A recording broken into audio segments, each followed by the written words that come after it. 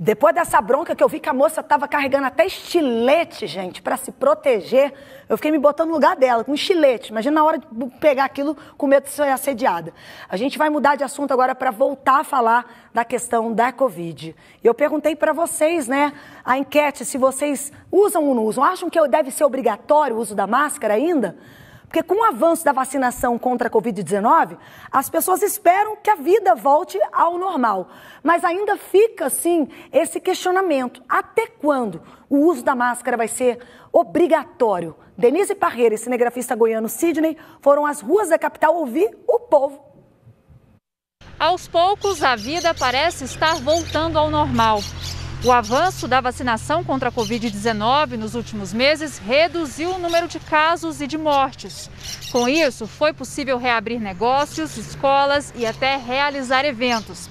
A pandemia ainda não acabou, mas hoje conseguimos acreditar que o fim não está mais tão distante. Com a melhora nos índices, principalmente da ocupação de hospitais, uma nova questão começa a surgir. Até quando o uso das máscaras vai ser obrigatório? Eu acho que quando todo mundo vacinar tem que tirar. Eu acho que já deve. Já passou da hora, né? De tirar? É, de tirar. Você já se sente segura para ficar sem? Certeza, vacinada, sou livre. Eu acho que já devia dispensar sim, porque já está disponível né, as vacinas, primeira dose, segunda dose. Então eu acho que já diminuiu bem o caso, né? Em todas as regiões, países, tem alguns que nem estão mais usando. Então acho que sim, que já está na hora. Nos lugares abertos, eu acho que já podia liberar todo mundo ficar sem máscara, até porque a maioria das pessoas já tomaram as duas doses da vacina. Inclusive, assim, diminuiu já bastante o índice, né, de, de contaminação. Então, eu acredito que em lugares abertos já podia ser liberado 100%. Para as autoridades de saúde, ainda é cedo para abandonar as máscaras. O ideal seria esperar até que uma parcela maior da população estivesse totalmente vacinada. Todo mundo não vacinou ainda, né? Eu já vacinei, mas todo mundo não vacinou. Então, não tem como ter certeza, então tem que usar. A vontade de tirar é muita, mas eu acho que tem que esperar mais um pouco. Precisa continuar, acho que até pelo menos terminar a vacinação por completo, precisa continuar. O vírus não acabou ainda. Cada dia que você vê aí é um caso, é morte, é internação. Eu acho que está muito cedo para tirar a máscara. Está muito cedo, não pode nem pensar em esquecer as máscaras. Isso aí vai durar muito tempo ainda. O ano que vem é pouco. Eu não vou deixar de usar a máscara. E eu também não acho que ainda está na hora de parar, ainda não. Porque a vacinação, ela, ela tipo assim, não, ela não te inibe de pegar o coronavírus.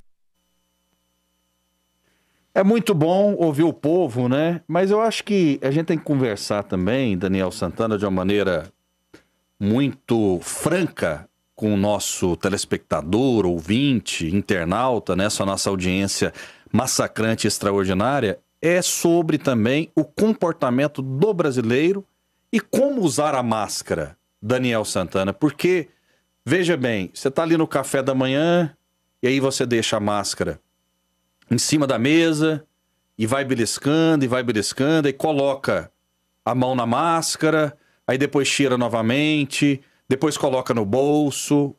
O brasileiro não é flor que se cheire no que diz respeito ao comportamento, não, Daniel. Então, é algo que tem que ser levado em consideração. E a gente tem que conversar como adultos, sem hipocrisia, sem mentira, chamando você que está nos acompanhando de inteligente, né? Você não é alienado. E você está observando o que está acontecendo no mundo. Eu gosto muito de futebol, assim como o Daniel Santana. Nós dois somos também do, do jornalismo esportivo.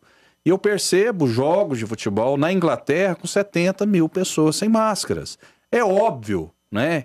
Que eles começaram um pouco antes, eles começaram um mês antes, mas isso já acontece desde a Euro foi realizada ali em julho, essa situação. Então, a gente tem que ser muito maduro para falar sobre esse assunto. É óbvio e evidente que todo mundo hoje gostaria de ficar sem a máscara, porque é muito ruim, né? Colocar a máscara. Agora, quando é que isso vai acontecer? Vários estados, várias cidades já discutem a flexibilização, Daniel. Isso. É, muita gente discute. É, existe uma, uma, uma projeção de que quando você tiver cerca de 70%, 80% da população vacinada com as duas doses, que a contaminação ela vai cessar ou ela vai ser bem menor e aí esses, esses, essas precauções seriam retiradas. Eu sempre digo, e eu respeito as pessoas que pensam é, que, de, que nesse momento não é necessário utilizar a máscara ou é necessário, eu sempre digo, e é a minha forma de ver o mundo, que você deve é, sempre procurar a quem tem mais capacidade para falar sobre o assunto. Na minha opinião, quem tem mais capacidade para falar sobre o assunto aqui no Estado é a Secretaria, através dos seus técnicos, do seu quadro, que é muito competente, do seu secretário, do Ismael, que tem feito um, um bom trabalho no enfrentamento ao coronavírus. O tempo inteiro se mostrou com muita responsabilidade perante a pandemia. E eu tenho certeza que contribuiu muito para a gente passar por isso da melhor maneira possível, é, apesar de todas as perdas que nós tivemos. E eu estou aqui agora no site da Secretaria de Estado da Saúde e aqui está é, uma cartilha de como se prevenir. E entre essas prevenções está use as máscaras sempre que sair de casa. O enfrentamento continua, é por você, é por todos os goianos. Então eu recomendo às pessoas que cumpram as normas sanitárias é, que são pensadas, que são estudadas por aqueles que estão à frente do combate à pandemia, que são técnicos capacitados para poder falar sobre isso, é, independente do que você imagine ou não. Eu acho que é a melhor forma de você poder se prevenir, poder contribuir logo para o fim da pandemia. Agora, a discussão é sempre positiva, eu tenho certeza que dentro das próprias secretarias, ministério e, e secretarias estaduais, municipais, existe essa discussão, né? existe esse trabalho para saber quando é o momento, porque fatalmente em algum momento vai ter que se abrir mão das máscaras quando elas não forem realmente mais necessárias. É sim é um desconforto para quem está na rua, um desconforto para crianças, um desconforto para as pessoas que têm problemas respiratórios, né? Para qualquer pessoa em si, mas para alguns o desconforto é maior. Então, é, recomendo novamente, cumpra as medidas sanitárias indicadas na sua cidade, no seu estado, e espere o momento certo, o momento em que realmente elas forem liberadas, contribua, continue contribuindo. contribuindo. Já passamos por mais de um ano e meio de pandemia, já passamos por um período extremamente difícil, um período de contaminação, de medo, de muitas mortes, isso vem caindo, e vem caindo justamente pelo combate responsável pelas vacinas, então eu acho que não é hora de arrefecer.